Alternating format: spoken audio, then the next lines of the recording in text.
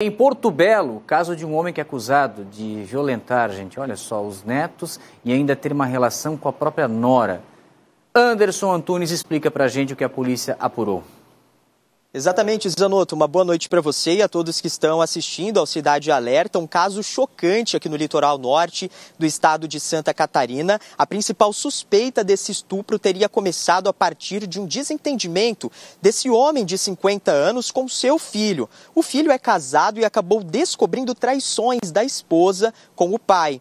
Nisso, seus dois filhos pequenos, uma menina de 6 anos e um menino de 10, faziam visitas frequentes ali na casa do avô. E é claro que com toda essa suspeita de traição, o pai decidiu fazer um corte, dar uma pausa nessas visitas aí das crianças. Nisso, ele mandou as crianças para a casa da avó, que fica ali na capital, Florianópolis, e enquanto a avó dava banho nas crianças, o maiorzinho de 10 anos confessou que o avô costumava tocar nas partes íntimas deles. É claro que a avó ficou bastante espantada com essa situação, entrou em contato com o pai, eles fizeram ali uma videochamada com as crianças e as crianças teriam dito que a menina menor menor de seis anos também teria sido estuprada por esse avô. Um boletim de ocorrências foi registrado, mas por não ter sido feito aí o flagrante pela polícia, esse homem acabou não sendo preso no momento, viu, Zanotto? Mas a polícia continua investigando toda essa situação e a gente ressalta também que nesse momento esse homem de 50 anos é considerado suspeito e a polícia vai investigar melhor